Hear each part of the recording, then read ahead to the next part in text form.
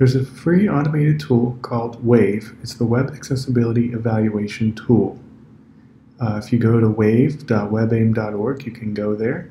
You could type in any, any address here and it will do a wave for you. Or you can choose to use one of the browser extensions for Chrome or Firefox. In this example, I will show the Chrome extension. I have it installed right here. It's the W. I'm going to go to a website and I am going to check it for accessibility issues. When I click Wave, I have a toolbar show up on the left. It says I've got errors under the Summary tab.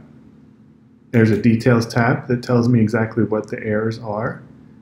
I can click on them and it will tell me precisely what's wrong.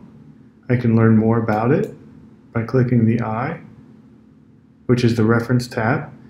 Uh, in this case, an image alternative text is not present. It explains why it matters and how to fix it.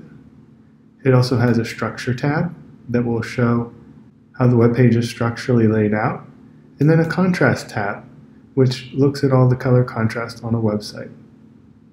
Uh, I can see over here that I have some low contrast text. If I click on it, it will tell me that I have low contrast, and I can see the reference, again, to see why it matters and how to fix it.